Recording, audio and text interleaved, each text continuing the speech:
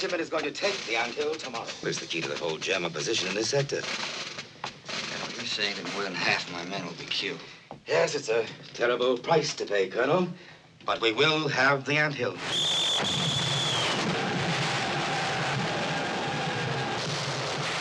The troops are mutiny, refusing to advance. Order the 75s to commence firing on our own positions. This is a general court-martial. These men are charged with cowardice in the face of the enemy. If those little sweethearts won't face German bullets, they'll face French ones. Is it true that you've been designated a coward simply and purely because you drew a slip of paper marked X? Yes, sir. I don't see the point of this line of questioning. To find these men guilty will be a crime. To haunt each of you to the day you die. Therefore, I humbly beg you, show mercy to these men.